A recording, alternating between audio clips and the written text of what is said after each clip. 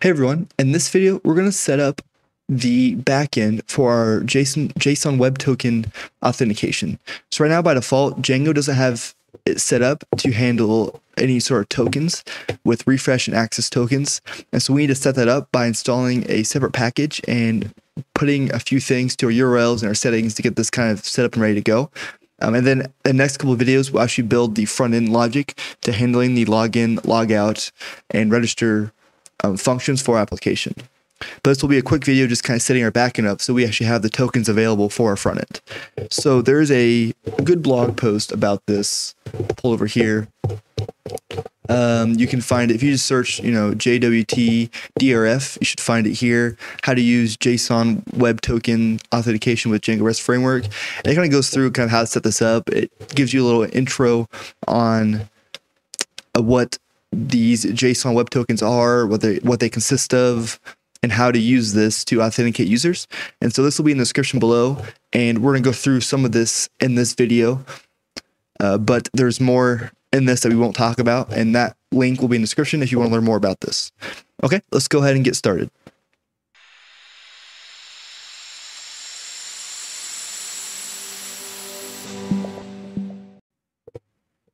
So looking at this, the first thing we do is install this library. So I'm going to go ahead and copy this, go to my terminal where I already have my server running. I'm going to go ahead and stop it here.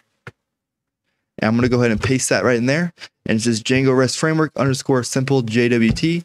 We'll install that there. I'll rerun my server.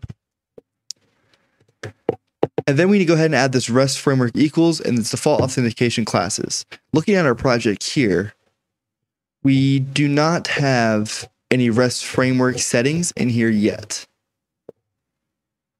Or yes, we do. We do have some, we already have some settings right here actually. So what we want to do is we want to go ahead and just grab just this list and this default authentication classes uh, dictionary key here. So we'll go ahead and copy that. We want to go ahead and paste that inside of this. So I'll put it, you can put anywhere, I'll put it here at the top, just like that. And then I'll fix this indent right here. And that sets up our REST framework JWT as an authentication class. So we'll go ahead and save that. We'll come back over here. And then we need to go ahead and update our urls.py. So let's go ahead and do that now. So what we need to do is go ahead and import our JWT views. And this will be from rest underscore framework dot uh, underscore simple JWT import views as JWT underscore views. And then we go and add two routes to our URL patterns. So back on my browser here, I'll grab these two routes. And once again, this is in the description below, so you don't have to write all this in by scratch. You'll be there so you can copy as well. And I'm going to go ahead and put that right down here. We shouldn't need this API auth anymore, so I'll go ahead and comment that out for now. But now we should be able to authenticate users using this token route and this API token refresh.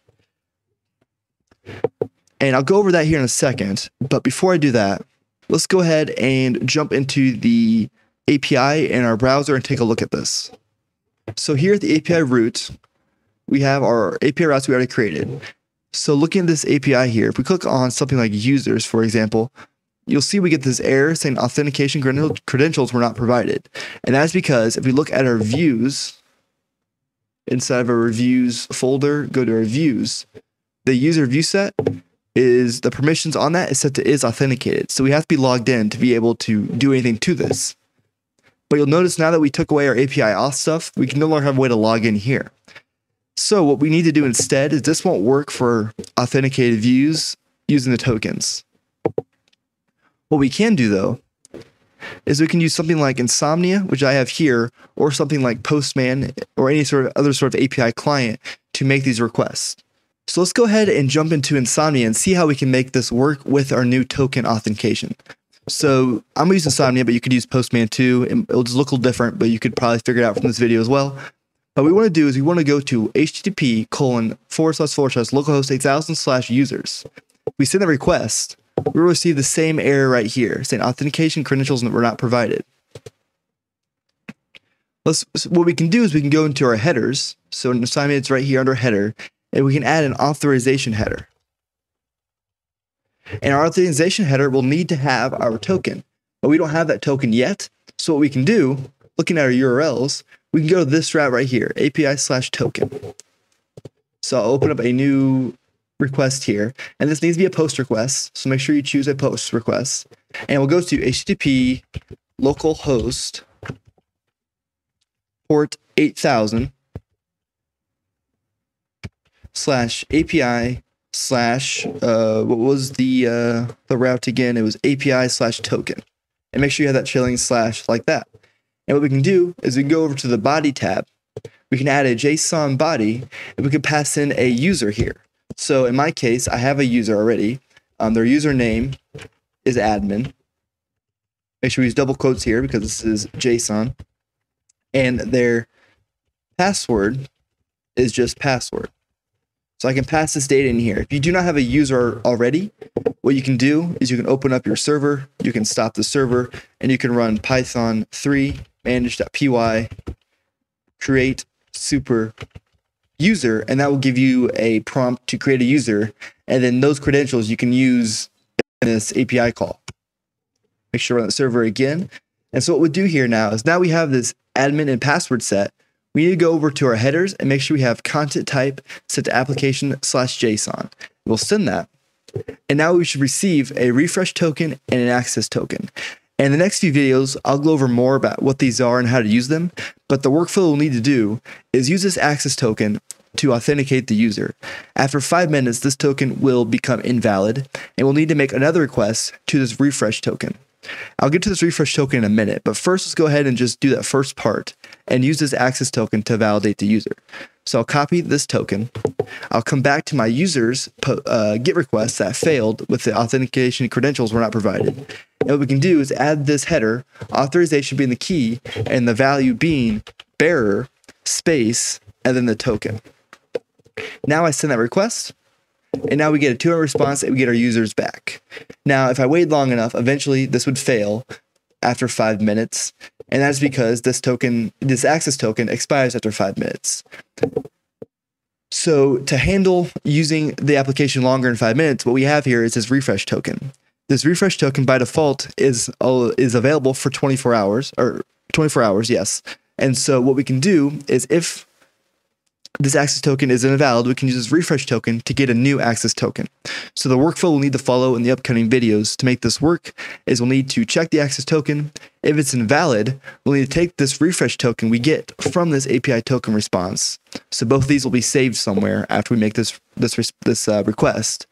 We need to take this refresh token, and then we need to go to HTTP localhost 8000 slash API slash token slash refresh. And this is the same route that we added right here, API slash token slash refresh. And what we can do here is we can go into our headers and first add one header, which is application, uh, sorry, content type,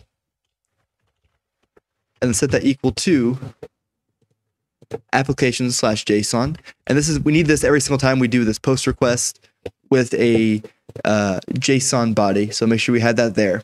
And then in our JSON body, we'll need to make sure you select this here and Postman. It might be a little different. What we need to do inside of here is set a field being refresh set this equal to the refresh token. Now we send that. Um, oh, I forgot a trailing slash on the post request. Make sure these these routes need to have the trailing slash to make sure that's there but we'll send this, and then if this this refresh token is valid, we'll receive a new access token. Now I can take this access token, copy this, and go to my users, my GET request here, go to the headers, and I can replace all of this with a new token. So bearer space the new token, send that, and we still get a 200 response. And so that is how this works. So if you're able to get a token here, or get the two tokens here, I should say, the access and the refresh, and you're able to get a new access token by going to this API token refresh route, then you have everything set up and ready to go. We'll do all of this in the JavaScript, obviously, in the next few videos, but we need to get the setup first. So with that done this should all be set up and ready to go. And that's where we'll stop for today with this video. It was just a quick one to get this ready to go. The next few will be a little complicated, so if this didn't make sense, uh, I'll go over all this again when we actually build this in the front end. But for now, just make sure that you have both the ability to get an access token and the access and refresh token at these two routes.